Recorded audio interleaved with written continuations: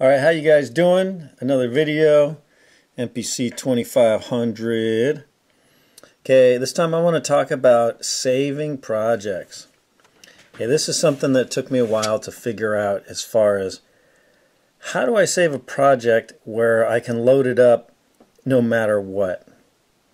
And then how can I do that to where it's not taking up too much space on the hard drive? But the bottom line is this. You load up say we go to load. And you load up a program. If you have a folder I have a folder called programs.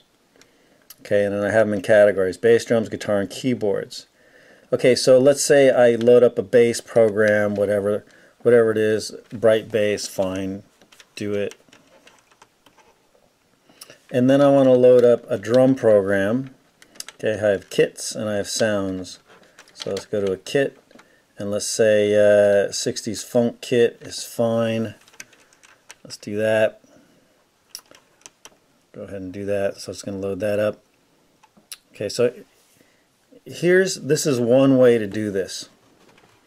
Okay one way is to load up to, to start up the system start up the MPC where it doesn't auto load anything. That's the deal. You just start up clean and then you search through your files and you load up whatever inspires you in the moment. So let's say I do this cool beat and I'm all stoked and I'm using these two programs. One's called Bright, one's called 60s Funk Kit, all right? Okay, and we're playing it and it's like, oh, this is great. I want to save it. Okay, so you go to save. Okay, so there's basically a how and a where. So save as sample save a program, save all programs, save a sequence, save all sequences,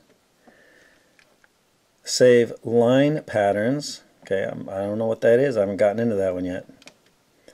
Okay, save a pattern bank, pad mode assign, system setups, entire memory 1 okay now this is what I discovered entire memory 1 and entire memory 2 okay one says all programs all samples all sequence songs pack uh, name all sequence songs. Let's see here. So and you can rename it from there. Okay so that's the first entire memory. The second entire memory is all programs and you get the pattern bank and the pad mode thrown in there too. Okay that's the difference. See that Okay, I usually go for memory 1, entire memory 1. And what that does is it saves everything. That way, and puts it into whatever folder you want. Okay, I usually go to projects. And then I make a new folder, and I name it, and I dump it in there. So that's basically how I do it. But the entire memory 1 is cool because it does everything. So, so basically, if you're doing it this way, where you every time you boot up clean, meaning with no uh, samples loading, and you just load whatever you feel like in the moment, you go and save it. Entire memory is going to save everything. Now, the problem potentially is if you load up big programs and you save the whole program every time.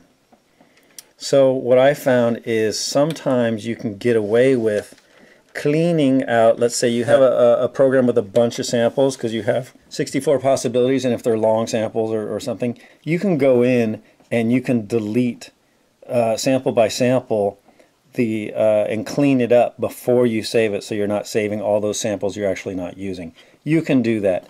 But I have, um, as my, one of my past videos shows, right, installed a um, what's called the hard disk, but it's really just a, a, micro SD card and with an adapter.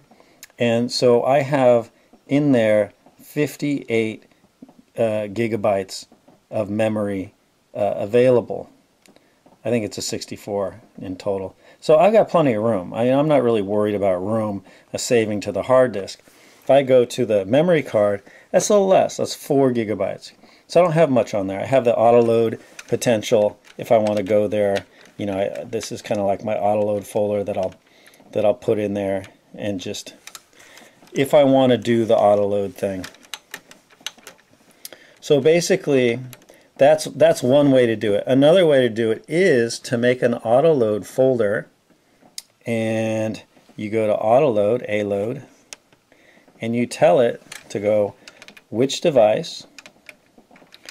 Okay, in this case, it would be the memory card folder auto load because I've done it before. It's already there. You can even have another folder going if you want but it has to be all on the memory card or whatever device you you give it. So when you turn it on, it's going to load whatever's in this folder, and then you're going to have your base samples, right? That's just going to be your samples that you that you use all the time.